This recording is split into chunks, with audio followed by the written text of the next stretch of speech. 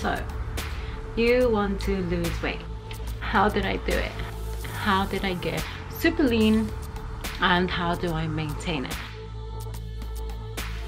Six months ago, I decided I wanted to lose weight and lose fat and also compete in a bodybuilding show in the bikini division. Bikini division is the smallest, which means you don't need that much muscle. Okay guys, I finished. I got first call outs, which means I came top six and I didn't even think I was gonna play, so I'm really, really happy. Yay.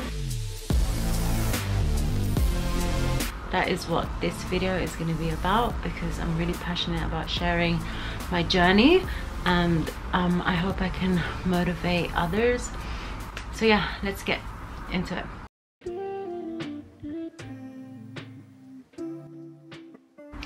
I think I have three things that are super important. Mindset, macros, and so diet.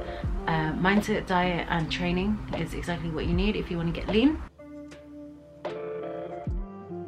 I knew that if I wanted to achieve this, there wasn't any time to play games. There wasn't any time to procrastinate or to cheat myself because if I was going to be on stage then I was going to be on stage and that's just going to be like embarrassing if I didn't reach the physique that I needed to in order to be show ready. Or I knew that I if I was to pull out of it I wouldn't feel good about myself either. So that was one thing that really helped me was knowing that i had this goal. But of course the average person is not gonna have um, a bodybuilding show goal so i understand why it can be tough for some people. But yeah anyway within my mindset i think there were three things. Self-identity commitment and discipline. So basically i started self-identifying myself as this person that I wanted to be. The person that I wanted to be was somebody who uh, who really valued fitness and, and who really identified themselves as that. In order to self-identify as a fitness person means I always had to go to the gym, right? And I had to eat a certain way, right? And that's what I did. And I didn't skip out on sessions and I didn't cheat or lie to myself. That's why I've been able to see the results and I have seen so yeah i started self-identifying by believing i was this person and by doing the actions that this person would do. Second was uh, commitment. I was completely committed. This is kind of linked to self-identity. Um, yeah didn't skip workouts. And you know it was really tough because going to the gym when you haven't reached a certain level of strength or like physical appearance you feel kind of like what am i doing here? I don't i don't feel like i fit in. I feel like i'm not strong. I feel like i'm working out but like i'm still like i feel unattractive or whatever. So that's really tough in the first few weeks i'm not gonna lie but then it's really really rewarding after a few weeks when you start seeing results and you know what you're doing is working.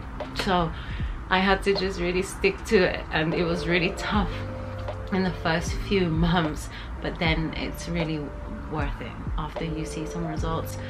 So yeah and then like i think um, I didn't touch on it yet discipline. If you want to achieve something in six months it's fine it's realistic but it, it's also a little tight because like yeah you can achieve things in six weeks in three months six months but usually the best is like even longer like a year long change so that it's really sustainable. But if we're talking about like big lifestyle change in six months i don't think that it's that much time. So i think that you need to be really really disciplined. For example if your workout regimen is five times a week then you go five times a week. You don't wake up one day and say oh am i gonna go to the gym today? It's not even an option. It's just like okay when do i go to the gym? And also you can use the five second rule. That's something that i use. If i'm feeling a bit lazy i just think like if I'm procrastinating and I know I need to go to the gym, I give myself five seconds, okay? Five, four, three, two, one. And then you just get up and you just go. Yeah, it was really tough. I remember there were days where like the weather is really bad and you don't want to go. You don't want to get up. You feel comfortable in your own home. But how do you achieve things? Through getting yourself out of your comfort zone and doing things that you don't, that don't feel best. If we only do things that we only do in the moment that feel good that give us um, instant gratification or short-term gratification then we wouldn't be anywhere. And you do see people like that that haven't accomplished much and that is because they rely way too much on short-term gratification. So yeah discipline commitment kind of the same. You just have to be committed to the plan. Um just go even if you don't do as much as what you wanted to do at the gym at least you did something. And we've always heard something is better than nothing right for losing weight for losing fat it's all going to be about energy expenditure. Your energy intake has to be less than your energy expenditure. So you can do that by two ways by consuming less food or less calories not necessarily less food because you can still eat a lot depending on the food.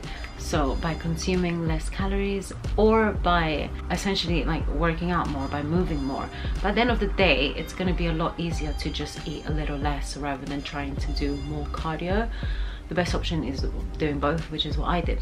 And also getting in a lot of steps. I think I average like 20,000 steps a day sometimes 30,000 and then sometimes 10 so I think I average about 20,000 and I also cycle to work and I'm just a really active person. And I also do cardio about five times a week because I genuinely love it. So my energy expenditure my energy output is really high. That's how i'm able to sustain being lean now because i still eat in a way that i know suits my body and i'm still on a deficit but I'm slowly changing that. What I do in order to make the calorie deficit easier is I have lots of salads and lots of soups. I talk a lot about this on my Instagram, so if you want you can follow to have a look at what I eat.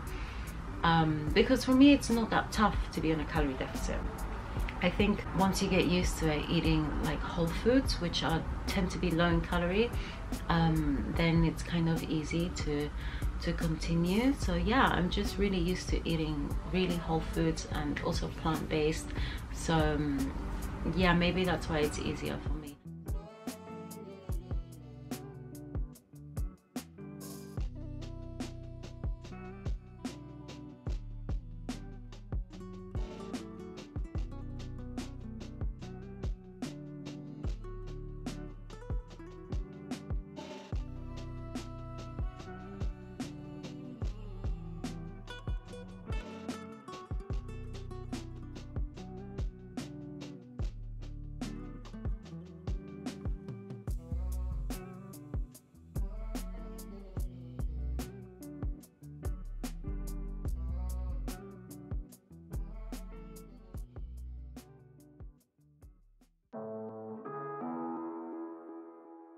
Finally training. I train uh, six times a week if anything sometimes seven and i just do cardio because i love being active.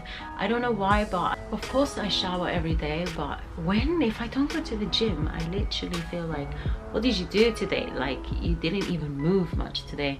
So basically my point is that i love being active every day. Anyway i'm training about lifting about five six times a week three times a week lower body and two times a week upper body. And what you need to do is reach hypertrophy which is basically the state of your muscle growing. And you do that by putting it in kind of stress. That that's why it feels like it needs to grow so that it can uh, like protect defend itself I guess. Um yeah so lifting a lot. And of course to be honest sleep. I'm not really the best at sleeping good amounts of time but I do know that your muscle needs uh, good rest for repairing itself which is essentially part of the growth. So I do think that if you have this as your goal that you should also prioritize sleep. So yeah um, thank you so much for watching. I really want to make videos talking more about my journey and tips and tricks of how I maintain this physique this lifestyle. Like I said follow my Instagram because I actually post a lot about like my food and my workouts and I usually post whenever I go to the gym so maybe it can motivate you too. Please ask me in the comments um, any questions or please let me know what you'd like to see. I live in Tokyo so I can also show you Japanese products that I buy and and stuff like that. Yeah